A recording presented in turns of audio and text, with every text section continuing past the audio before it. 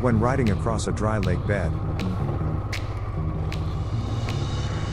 The gravel can sometimes be a bit loose.